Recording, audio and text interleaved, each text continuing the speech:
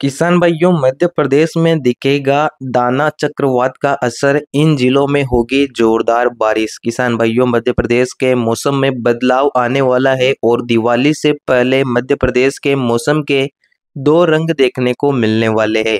किसान साथ मध्य प्रदेश के मौसम से जुड़ी हुई जानकारी के लिए वीडियो को अंत तक देखिए। जो नए साथी हमारे चैनल पर नए हो, चैनल को सब्सक्राइब कर लीजिए। वीडियो को अन्य किसान भाइयों तक भी शेयर कीजिए।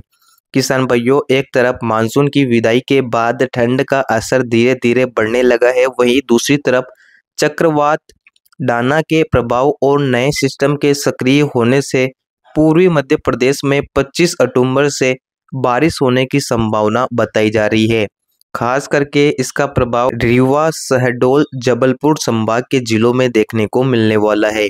एमपी मौसम विभाग की माने तो 24 अक्टूबर को नया वेदर सिस्टम एक्टिव हो रहा है, जिसके प्रभाव से 25 अक्टूबर से पूर्वी मध्य प्रदेश में एक बार फिर से गरज चमक के साथ बारिश होने का अनुमान है। इसके साथ ही इंदौर संभाग में भी बारिश की गतिविधियाँ देखने को मिली है। किसान भाइयों, बीते बुधवार को भी बैतुल, हरदा, बुरहानपुर, खंडवा, खरगोन, बड़वानी, रतलाम, मंदसौर, नीमच, शिवपुरी जिलों में कहीं कहीं पर गरज चमक के साथ बरसात का अलर्ट जारी किया गया था। इसके अलावा बुरहानपुर, खंडवा, खरगोन, बड़वानी, मंदसौर, नीमच ज़िले में कहीं कहीं पर बरसात की गतिविधियाँ या बादलों की आवाज़ अभी देखने को मिली है।